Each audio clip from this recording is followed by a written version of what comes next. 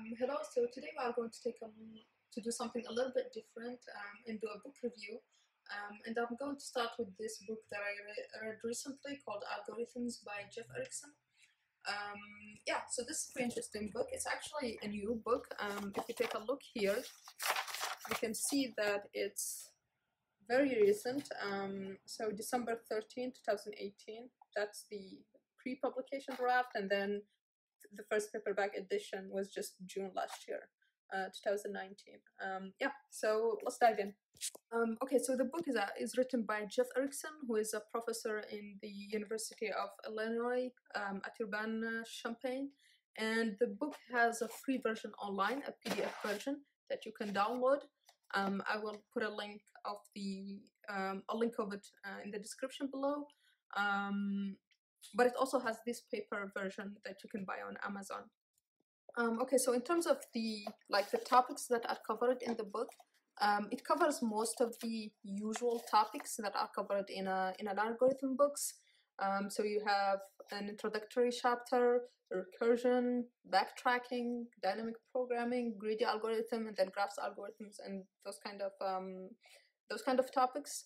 Um, one noticeable thing is that it doesn't have a specific chapter like for runtime analysis or for specifically for sorting. Um, but I think that's fine since here, for example, in recursion chapter, we have a, chap um, a section on merge sort, a section on quick sorts, um, and that usually gives you an idea of how sorting algorithms um, work. Um, for the recursion chap, the, the three chapters, recursion, backtracking, and dynamic programming, I think that gives like a, a pretty good flow um, of the book, um, since those are somewhat related.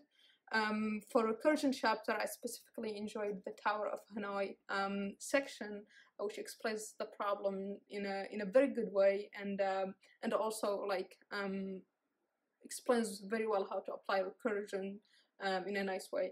Um, uh, backtracking also is chapter is very good. Um, the n-queens problem, which is the first section of the book of the chapter, um, is also uh, explained very very very well um, and is a is a is a nice problem there.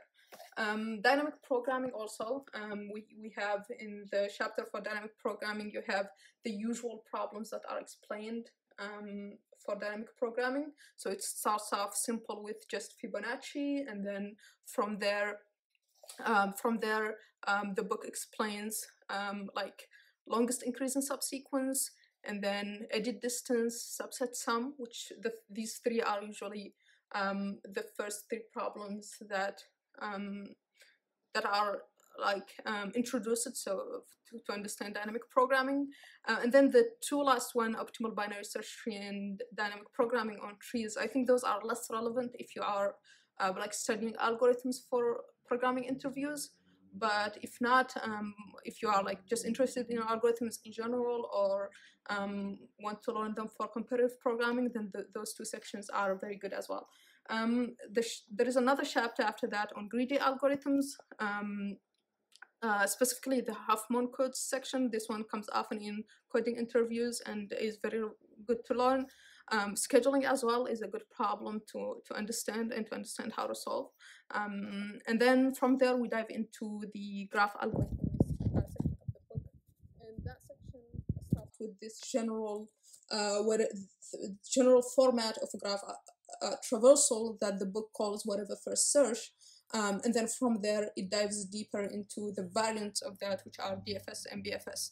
Um, I found this way of introducing graph traversal very, very easy to understand um, instead of just directly diving into uh, depth first or breadth first search. Um, this general template of using whatever first search and then from there specializing to either DFS or, or BFS, um, that was that was very good. Um, I think this first shows, uh, sorry, DFS and uh, explains how to use it to do detections of cycle uh, of cycles on a graph and then topological sort and then uh, strong detecting strong connectivity um, so those are the usual problems that come up in graphs and uh, where DFS can be used to solve them.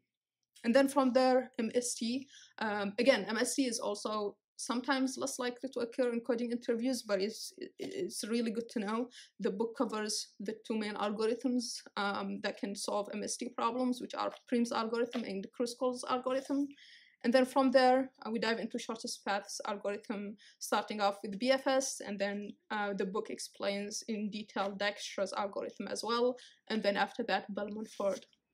And then once we get to this chapter, I think the rest of the book is less relevant again for coding interviews, but it is very good to learn, which is which are the chapters on all pairs shortest paths and maximum flow and minimum cut as well. Um, I think those are somewhat um, advanced topics, so you can skip them if if you want.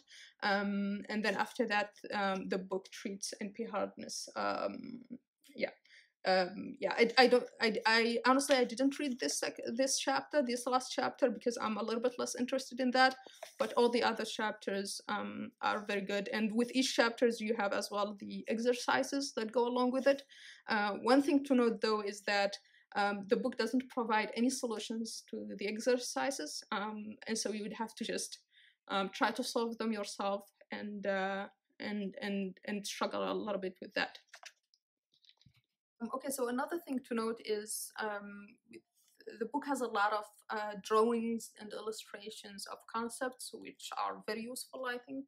Um, like in this chapter here, in this page here. Um, um, yeah, so um, except uh, one thing to note is in the paper version, the the these illustrations are not colored, but they are in the PDF version online, the free PDF version. So if, if that's something that matters to you, you can use the PDF uh, version.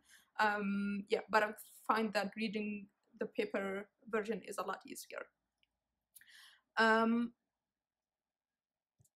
um, another thing that I wanted to mention is that um, the same professor who's written this has also um, lectures um, on YouTube where he's teaching the same, a similar material to what's in the book. So what I strongly recommend is before reading each chapter, um, watch the, the lecture that is similar to it, and then from there read the chapter, um, and, and, that will help you kind of understand. Um, I will put a link to the playlist of the lectures that are similar to the book. Um, so yeah, I hope that would be useful. Okay, so now let's get into like the pros and cons of the of the book here. So um, for the pros, I think the this book focuses a lot more on explaining the intuition behind algorithms and behind um, complexity analysis than other books like uh, CLRS, um, the Introduction to Algorithms book, which is more math based. This one is a lot less math heavy uh, and more focuses more into the intuition, which I I really like it. Um, it also has very clear explanations um, compared to other books that I've read. Um, um, it's it's written also in a very uh, accessible and clear way um, that I've found um, very easy to understand. Uh, it includes as well a few jokes every now and then in the book, which makes it a lot more fun to read. Um, and then, but in terms of like cons of the book, I think one main cons that I found is uh, not having solutions to the exercise is kind of um, not ideal because um, when you finish an exercise, um, you don't know if your solution was right or not.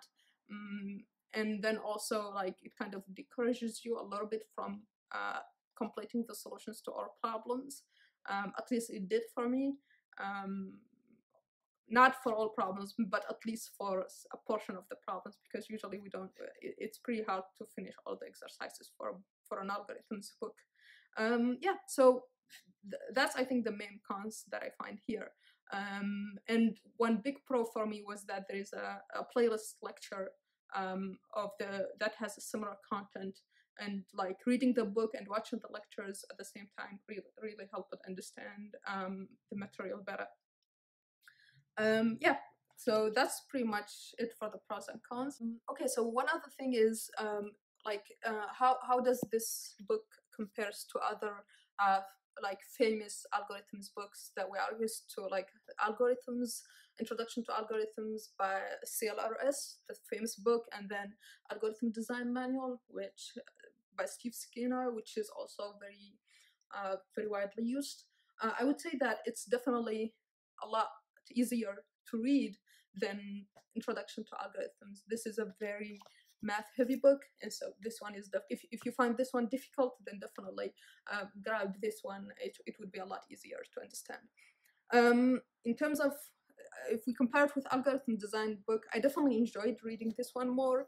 Um, this is this is an excellent book but i found the this is more i found algorithms by jeff erickson a lot more accessible again. Um, it's slightly more accessible so yeah you can you can try both and see which one which one fits for you. But um in terms of like who who can read this book or who should read this book um i think it's a pre-introductory book or at least like medium. Um i wouldn't suggest it recommend it to someone who is really starting off like the first time reading about algorithms. Uh, for that i may maybe suggest something really new like really like introductory like this one algorithm unlocked.